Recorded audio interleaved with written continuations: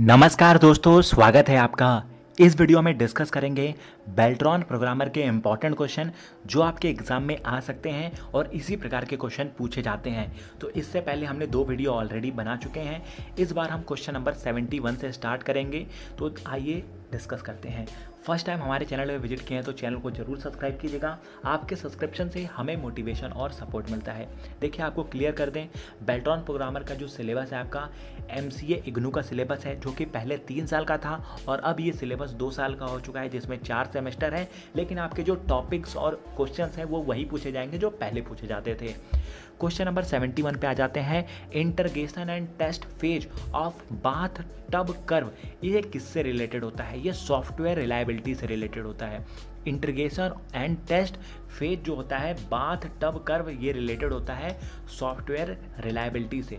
जो estimation technique होता है एस्टिमेशन टेक्निक में पीआरटी यानी कि प्रोग्राम इवोल्यूशन रेवेन्यू टेक्निक यही पूछ दिया गया कि ये किस प्रकार से स्टैंड किया जाता है। तो यहाँ इसका करेक्ट ऑप्शन देख सकते हैं program evolution and review technique देखिए आपके एग्ज़ाम में सात से आठ क्वेश्चन पूछे जाएँगे।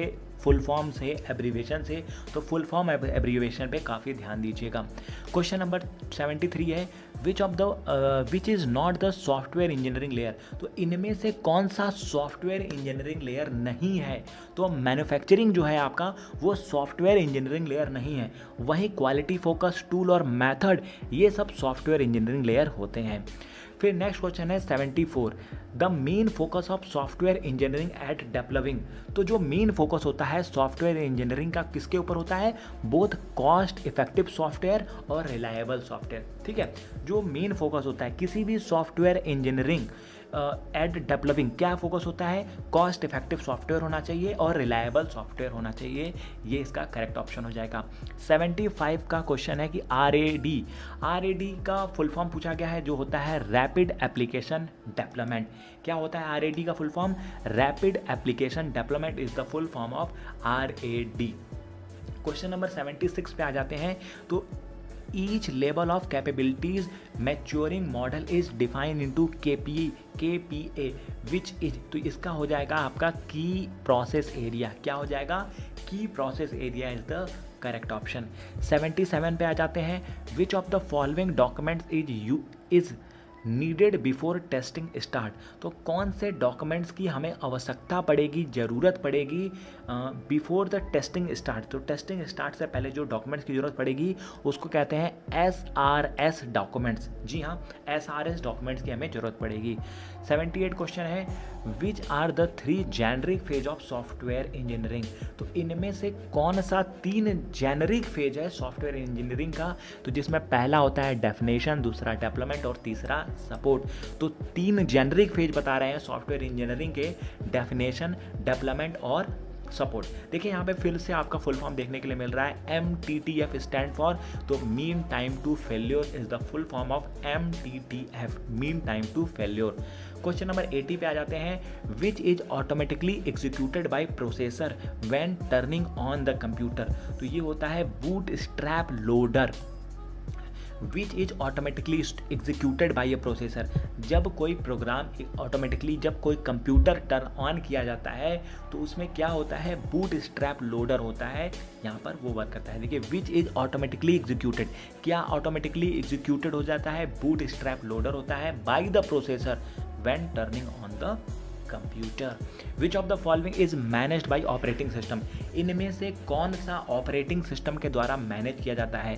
तो disk and input output device memory processes है ना? तो ये जो भी है, सभी चीज़ ऑपरेटिंग सिस्टम के द्वारा ही मैनेज किया जाता है। क्वेश्चन नंबर 82 पे आ जाते हैं। A process of heavy weight whereas a thread is जो प्रोसेस होता है हैवी वेट का, वहीं जो थ्रेड होता है। जो प्रोसेस क्या होता है? प्रोसेस एक हैवी वेट होता है, वही थ्रेड क्या होता है? थ्रेड एक लाइट वेट होता है, यही इसका करेक्ट ऑप्शन है। डिक्स scheduling algorithm disk scheduling algorithm में एस एस टी एफ़ का फुल फॉर्म क्या होता है?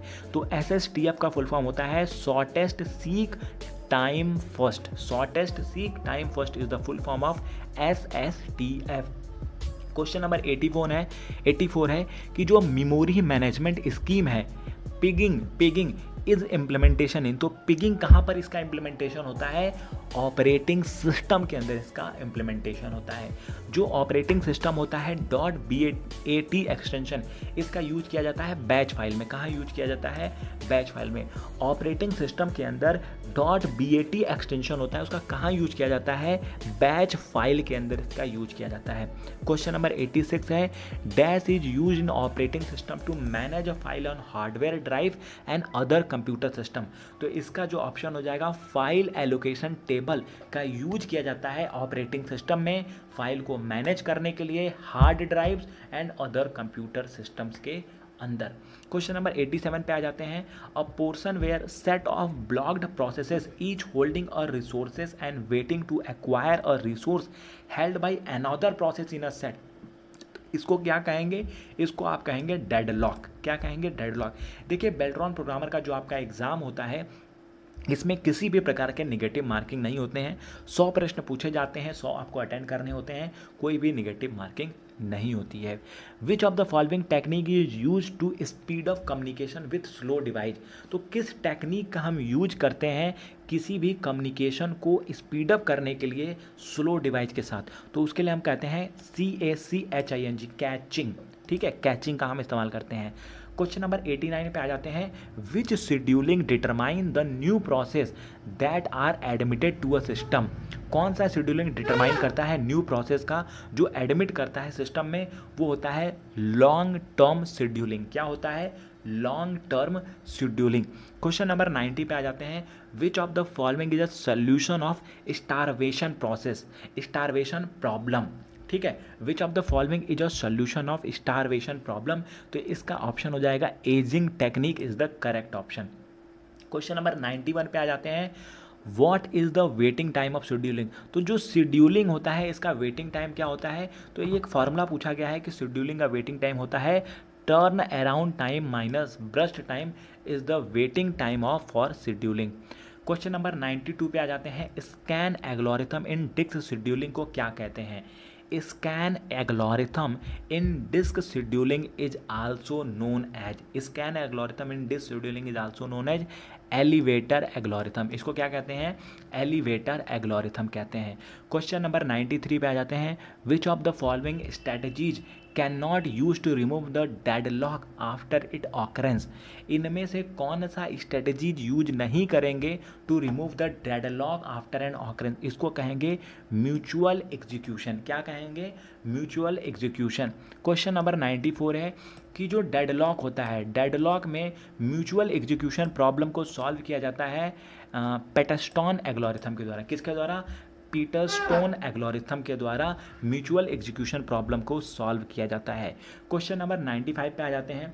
Which of the following are commonly found on web page इनमें से क्या चीज़ कॉमनली फाउंड होती है वेब पेज के अंदर? Hyper links are commonly found on web page question number 96 पे आ जाते हैं। Which of the following is not a components of networking तो इनमें से कौन सा नेटवर्किंग का कंपोनेंट्स नहीं है? स्विचेज होता है राउटर होता है हब होता है। मदरबोर्ड नेटवर्किंग का कंपोनेंट्स नहीं होता है। Motherboard is the component of CPU question number 97 पे आ जाते हैं। यहाँ पर एक्सटेंशन दिखा है डॉट ई यानी कि dot education N I C extension हो गया dot net dot G O V government यहाँ पर नेटवर्क हो गया, है ना? तो ये जो एक्सटेंशन होते हैं, इसको क्या कहते हैं? इसको डोमेन कोड्स कहते हैं। क्या कहते हैं? Domain codes G I F stand for तो जी आई एफ़ होता है graphic interchange format G I F क्या होता है? ग्राफिक्स इंटरचेंज फॉर्मेट्स होते हैं। फिर एक और फुल फॉर्म पूछा गया है कि कंप्यूटर ग्राफिक्स के अंदर टी आई एफ़ एफ़ क्या होता है? तो टी आई एफ़ एफ़ होता है टैग्ड इमेज फ़ाइल फॉर्मेट क्या होता है? टैग्ड इमेज फ़ाइल फॉर्मेट होता है T I F F hundred question पे आ जाते हैं, जहाँ पर animation we create by help of many online animation tool in a form of तो इसको कहते हैं जी आई एफ़ इमेज इसको क्या कहा जाता है? जी आई एफ़ इमेज तो बाकी फ़र्स्ट टाइम हमारे चैनल विज़िट किए हैं तो चैनल को ज़रूर सब्सक्राइब कीजिएगा। आपके सब्सक्रिप्शन से हमें मोटिवेशन और सपोर्ट मिलता है। और नेक्स्ट वीडियो में आगे के क्वेश्चन आपके साथ हम डिस्कस करेंगे। Thank you friends